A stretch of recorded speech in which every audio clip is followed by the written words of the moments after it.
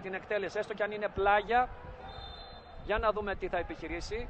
Απευθείας ο Κίναλης με δυσκολία η κεφαλιά από τον Παπα-Νικόλα. Μεγάλη ευκαιρία κόρνερ.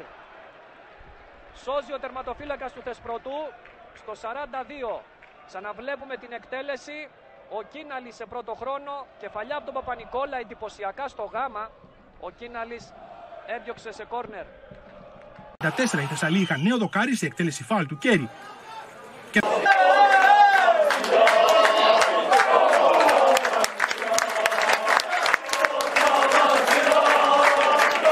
L'intervento a salvare la porta sul tiro a botta si cura di Cabeccia, ma al 34esimo il portiere sbaglia il tempo di Ancora locali al decimo, Rasi affonda a sinistra ma preferisce la conclusione anziché servire un compagno. Chinalis blocca a terra. deve compiere un miracolo sul colpo di testa di Boi, ben indirizzato sotto la traversa. Il tempo si chiude con la Torres in avanti.